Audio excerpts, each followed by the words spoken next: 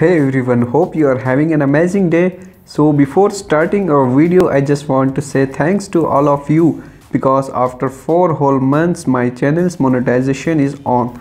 Okay, so today in this video we will talk about how to add or change a YouTube video's thumbnail by using your Android phone. So I suppose that all of you are a YouTubers so if you have not watched my other videos related to YouTube then you can check all that video by clicking on this i button or I will also drop the videos link in the description. Now without wasting your time let's start our video.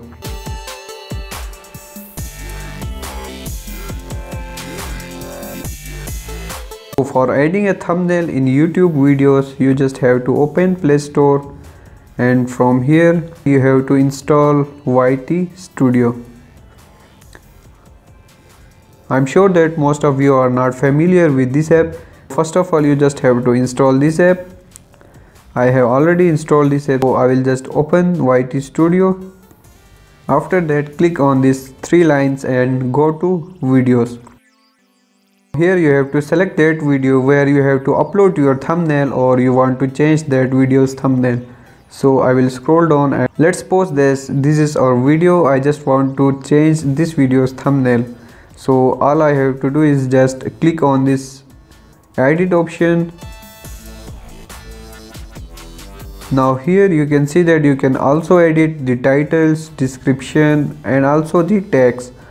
Okay? As we are changing our thumbnail therefore just click on this edit thumbnail and select any thumbnail from your mobile